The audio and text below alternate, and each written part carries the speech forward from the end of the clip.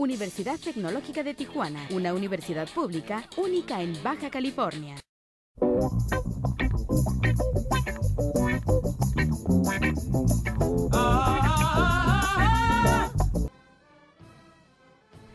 Se calcula que en Baja California existen aproximadamente 2.500 guatemaltecos. La cónsul de Guatemala en el estado menciona que la situación actual de su país es sin duda un elemento que expulsa a sus paisanos hacia México y como principal tema el narcotráfico. Gente se migra es por, una situación que, pues, que quiere mejorar las condiciones de vida de, él y de su familia, ¿verdad?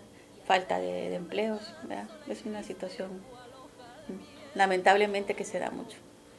Como cónsul de Guatemala en Baja California, esta mujer que lleva tres años al frente del consulado tiene como objetivo dar a conocer su cultura con una muestra de cine guatemalteco el próximo mes de agosto.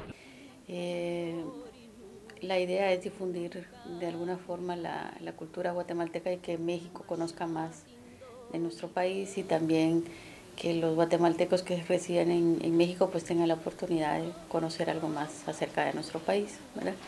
Y ya ha estado en el DF y en, Veracruz, con la idea de que, eh, bueno, ahora viene aquí a, Tijuana, después sería posiblemente San Diego, Los Ángeles. Guatemala significa lugar de árboles. Para este país la principal vecindad que tiene es México y busca acercar a todos los guatemaltecos que viven en el estado para ofrecer ayuda en cualquier momento que a los guatemaltecos que no se han acercado con nosotros, que lo hagan, que sientan la confianza de que nosotros eh, nos vamos a ayudar y que pues hay, por, ejemplo, si están casados con, ahorita que no está este programa de, regulación migratoria, si tienen hijos eh, mexicanos o pareja mexicana pueden estar legalmente aquí en México, nosotros les podemos decir cómo lo pueden hacer. Hola California, Yolanda Morales. Universidad Tecnológica de Tijuana, una universidad pública única en Baja California.